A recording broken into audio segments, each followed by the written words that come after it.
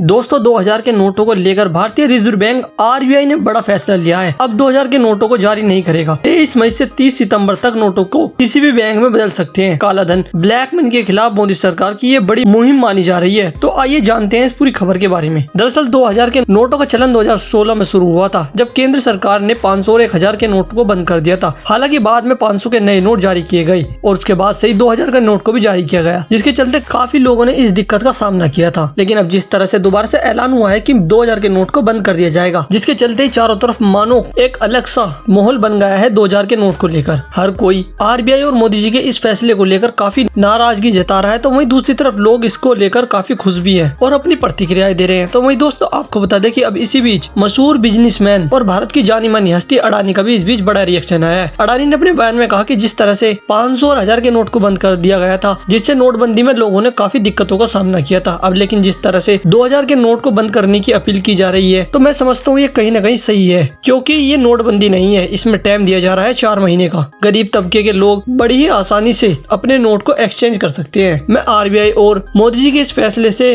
खुश हूँ, क्योंकि ये कहीं ना कहीं काले धन को बाहर निकालने का काम करेगा। तो दोस्तों, इस तरह से अडानी ने अपनी बात कही है। बहरहाल दोस्तों, आप अडानी के इस बयान पर अपनी क्या राय रखते हैं, आप हमें नीचे कमेंट में ज़रूर बताइएगा। और ऐसे ताज़ा खबरों से अपडेट रहने के लिए आप हमारे चैनल को ज़रूर सब्सक्राइब करें। धन्यवाद।